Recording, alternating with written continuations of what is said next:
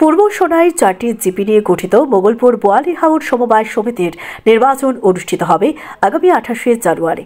ইতিমধ্যে নির্বাচনের বিজ্ঞপ্তিও জারি করা হয়। বুধবার আঠারো জানুয়ারি ছিল মনোনয়নপত্র গ্রহণের তারিখ।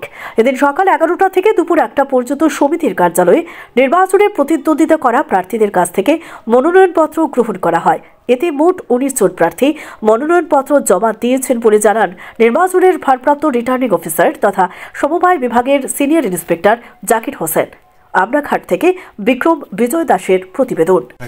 আগামী আঠাইশ জানুয়ারিতে ইলেকশন হওয়ার লেগে আজকে ওঠর জানুয়ারিতে নমিনেশন লইলাম। নমিনেশন সকাল এগারো বাজে টন একটা বাজে শেষ হয়ে গেল।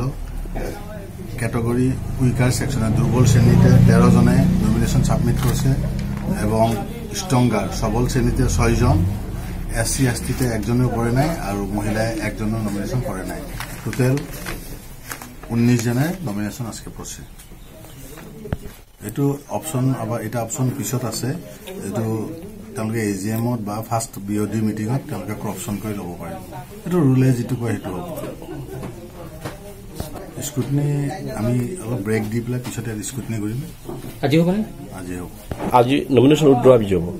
আজি স্কুটনি হ'ব তাৰপিছত কোনোবাই ইচ্ছা কৰিলে নমিনেশ্যন উইথড্ৰ কৰিব পাৰি সমিতিৰ বিগত প্ৰায় পাঁচ বছৰ পৰ আজকে নতুন এজিএম এৰ জন্য নিৰ্বাচনেৰ জন্য প্ৰস্তুতি প্ৰক্ৰিয়া প্রথম পর্বে আজকে মনোনয়নপত্র জমা করা হয়েছে।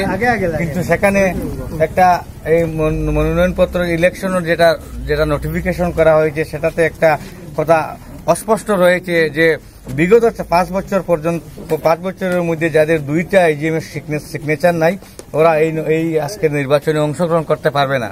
সেটাতে কত সন থেকে কত সন মতো সেটা স্পষ্ট উল্লেখ নাই সেই কথাটা নিয়ে সকালে এখানে যা- গ্রাহক যারা এই সমিতির মধ্যে সদস্যরা ছিলেন উত্তেজিত জনতা কিছু হইচই হয়েছে। মানে হইচই মানে এমন কিছু না শান্তিপূর্ণর মধ্যে দিয়া কিছু একটু এই কথা নিয়ে একটু উত্তেজিত পরিস্থিতি ছিল।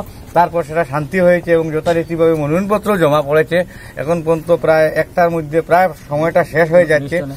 তো আমাদের যে দাবিটা হচ্ছে এখানে এরকম একটা পয়েন্ট আছে, যারা, যাদের কারণে এই এই, এই- এই সমিতিটা গত পাঁচ বছর পর্যন্ত নির্বাচন হয় নাই, বা সমিতিটা কিন্তু যথারীতি চলছে। আজকে সেই সমস্ত সদস্যরা এখানে মনোনয়নপত্র জমা দিতে পারছেন এবং আমরা একটা হাইকোর্টের কিরে একটা আমরা একটা অর্ডারও দেখেছি, সেটাতে তারা বৈধ বলে বলে এখানে ইয়ে লিখা আছে। কিন্তু জনগণের বা আমার দাবি হলো, পাঁচ বছর পর্যন্ত যেখানে এজিএম হয় নাই সেখানে জনগণ কীভাবে সিগনেচার পাবে দুইটা এজিএম সেটার একটা